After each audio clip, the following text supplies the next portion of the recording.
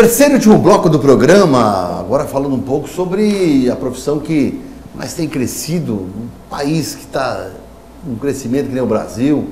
A gente vê o crescimento das cidades, o crescimento aqui na nossa região, prédio em todo lado, Copa do Mundo, Olimpíadas do Rio de Janeiro. É, e, e, nós temos uma vinculação muito forte na área de eventos da Fenavit Fabricom com o CREA. Eu trouxe aqui Robson Soares, que é engenheiro eletricista, mas que também é inspetor do CREA no Vale do Itajaí e também delegado do Sindicato dos Engenheiros do Vale do Itajaí. Robinho, primeiro boa noite, obrigado por estar aqui no programa, né? Vamos conversar sobre alguns assuntos hoje. Eu queria que você me falasse um pouquinho ah, da valorização do engenheiro. Eu tenho recebo muito engenheiro aqui. O presidente do CREA já esteve conosco diversas vezes, algum pessoal da, da área de engenharia, o pessoal da IANV. Alguns né, falam do, do crescimento do engenheiro. Mas num ano desse de Copa do Mundo, em que se valoriza muito o crescimento da cidade, você está vendo a valorização do engenheiro? É, Júlio, boa noite inicialmente, boa noite a todos que nos acompanham nesse, nesse importante programa que leva à cidade uma série de informações, uma série de questionamentos e que é importante para que todos possam conhecer os vários, vários lados de cada situação, e em especial hoje poder abordar um pouquinho sobre os engenheiros. Né? Eu sou inspetor do CREA, como tu acabou de abordar, delegado do Sindicato dos Engenheiros, e o CREA tem a responsabilidade maior de fiscalizar o exercício profissional, né? garantir de que cada construção, ampliação ou reforma esteja sendo atendido de forma adequada pelos profissionais mais qualificados e habilitados para cada situação. E realmente nos últimos 10 anos a engenharia teve um boom magnífico, seja com a construção civil na nossa cidade, que também cresceu muito, prédios, enfim, tudo isso que a gente acompanha na nossa cidade, Júlio, mas também com o crescimento do, do, do Brasil, de forma geral, não só quanto à Copa, a Copa é um tema difícil e traumático no sentido dos custos que estão imensos que estão sendo realmente realizados, a forma como ela é contratada, as dificuldades do poder público em poder realizar algo mais transparente e, e permitir à sociedade acompanhar de forma clara esses gastos, realmente são custos que fogem do, do da realidade, ainda mais no Brasil que precisa de investimento em tantas outras áreas. Por isso você acha que não existe muita incoerência nos certos manifestações contrárias a tanto investimento? Naturalmente, naturalmente são investimentos também importantes para o país, né? São importantes porque o número de turistas, a movimentação e o que acontece quando você faz as feiras, a Fabricom, né? Ou tantas outras que você realiza na nossa cidade, Júlio. A importância para a economia local. Então, são, são motivos como esse que geram economia, geram empregos indiretos e diretos, geram movimento dos hotéis, restaurantes, táxi, enfim tudo isso que você faz com as feiras é o que vai acontecer num, num, numa claro, grande claro. situação no nosso Brasil com a Copa e com as Olimpíadas. Naturalmente que os custos têm que ser, têm que ser avaliados, eu imagino que o Tribunal de Contas da União e os departamentos competentes e os órgãos competentes têm que averiguar. Se houver alguma coisa que esteja fora do que tem que ser, Aí, tem que ser dado no devido a... encaminhamento. Mas como inspetor do CREA, vendo a realidade local, você tem visto o quê? Ah, é, hoje as coisas estão sendo bem feitas, estão Júlia, a gente tem o famoso jeitinho brasileiro. Mas o jeitinho brasileiro na é engenharia é, pode dar é, problema, né? Pode dar problema, esse que é o, que é o lado ruim, né? Então você acaba, ah, vou só ampliar esse pedacinho, vou construir isso aqui, não precisa do engenheiro, não precisa estar é, tá, tá qualificado, na prefeitura acaba não encaminhando o projeto, você está sujeito a ocorrer né, inúmeros problemas até mesmo com a demolição do seu imóvel, em função de estar numa área de risco, numa área que, é, que não é permitida pela prefeitura, você além de não contratar um profissional, não ter a segurança na sua construção, pode também correr num problema maior ainda jurídico de ter que até demolir a sua residência, a sua casa, a sua empresa. Mas naturalmente que, que a gente precisa, pela segurança, você bota a sua família dentro de uma, de uma casa, de uma residência, ou bota do, o seu trabalhador numa empresa, a gente precisa contratar as pessoas qualificadas e habilitadas adequadamente para realizar o projeto, para realizar a fiscalização, para o acompanhamento. E é isso que temos feito no, feito no CREA. Né? O CREA tem seus fiscais e eu na inspetoria, na verdade, os inspetores eles têm o trabalho final de, de fazer o julgamento do, do, daquilo que o fiscal faz no dia a dia.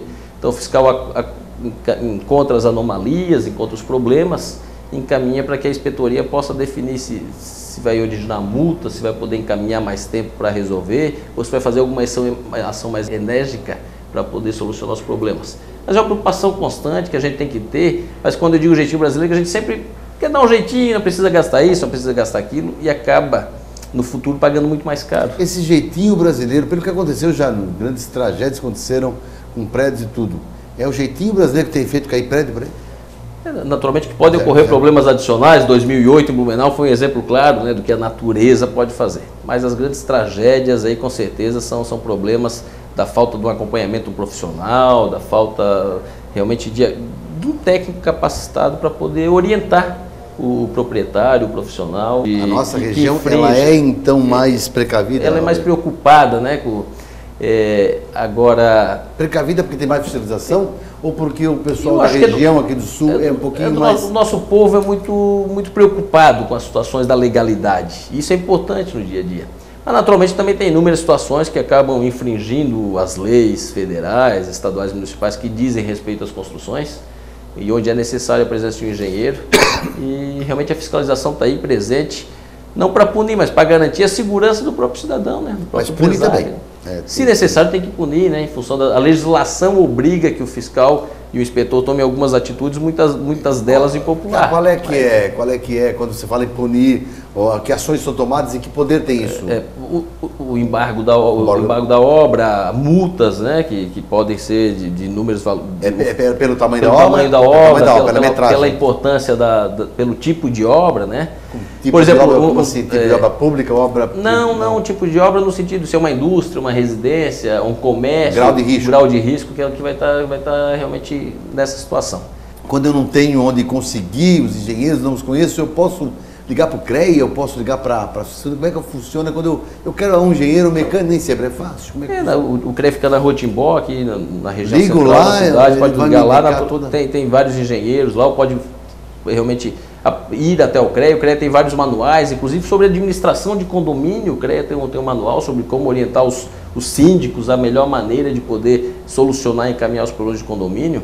Então o CREA está aí para servir a comunidade, né? Eu queria só vincular aqui o teu lado de delegado do sindicato dos engenheiros, parece antagônico com a área de inspetoria. Como é que você trabalha as duas é, áreas? O sindicato tem a responsabilidade de defender os interesses do profissional, enquanto do CREA é da profissão. E no sindicato a gente procura garantir que as empresas eh, realizem, por exemplo, o pagamento mínimo profissional. Tem uma lei federal que estipula o salário mínimo do profissional de engenharia. Então a gente luta e faz visitas para que as empresas cumpram isso e principalmente nas eventuais demissões possa realmente pagar ao, ao engenheiro é uma coisa é uma coisa outra coisa é outra coisa, coisa é. acaba não confrontando porque o CREA também vai fiscalizar a empresa ou a construção no sentido de garantir de que existe um profissional responsável por aquela obra, enquanto o sindicato de engenheiros vai garantir que aquele profissional está sendo pago de maneira adequada por aquela, por aquela atividade, por aquela consultoria, por aquela obra, por aquela responsabilidade técnica. São atividades que acabam se complementando no dia a dia apesar de antagônicas no sentido original certo, da, das suas entidades. Com, com, tanta história que você teve aí, você teve recentemente da, da vereança da cidade, teve problema, saiu da coisa. O que, que você pensa sobre todo esse caso? Um resumo que as pessoas possam saber sobre todo esse problema que houve, vai haver defesa, vai haver retorno. É você pensa sua vida política para aqui para frente? É isso, Júlio. Fui caçado aqui em Blumenau, fui também em segunda instância, estamos recorrendo a Brasília para poder retornar ao cargo o que eu posso garantir é que nesse, nesse um ano de mandato em que eu permaneci no, no, à frente do Legislativo Blumenauense, trabalhei muito, com muito afinco para poder realmente representar de maneira adequada a nossa cidade. Realizamos, fui o campeão de apresentação de projetos, e quero aqui dizer que não é projeto de nome de rua, como alguns fazem, né? são projetos importantes para a cidade, para o crescimento ordenado, qualificado, garantida a segurança, projetos como a padronização dos pontos de ônibus, garantindo a proteção do cidadão da chuva e do frio. Você, se caso caçado, fica inelegível durante oito anos. anos. Você tem que idade hoje, Robinho? Tenho 36 anos. 36 anos. Parei 36, já estou arredondando para cima. não, então, é, essa é a luta, então, para mostrar, porque eu acho que é importante chegar ao final da história, não é isso? É importante, né? De uma forma ou de outra, é importante esclarecer e resolver definitivamente a situação mas o meu desejo de poder continuar como vereador, e é importante frisar, né, Júlio, que ao longo da minha vida eu sempre tive minhas atividades de engenheiro, como demonstramos aqui, seja pelo CREA, pelo Sindicato de Engenheiros ou pelas atividades profissionais que eu tenho como uma empresa no setor. É, então eu sempre tive a saída da vereança não vai mudar em nada a minha vida financeira, social e profissional, mas é o meu desejo de poder contribuir com a cidade que me acolheu 98, Entendo. que me deu as oportunidades de crescimento e de, de trabalhar, que a gente realmente pretende continuar. É importante também uh, a existência de eventos né, como o Fabricom e Fenabit, que valorizam essa área da engenharia, a área da construção, sempre são importantes, acho que uh, os engenheiros também acham isso, o CREA sempre participa esses anos todos, acho que é importante sempre valorizar, através de um evento, a exposição de produtos e serviços na área de engenharia. Né? Olha, Júlia, as suas feiras são realmente fantásticas, não só para os profissionais da área, como para os moradores da nossa cidade.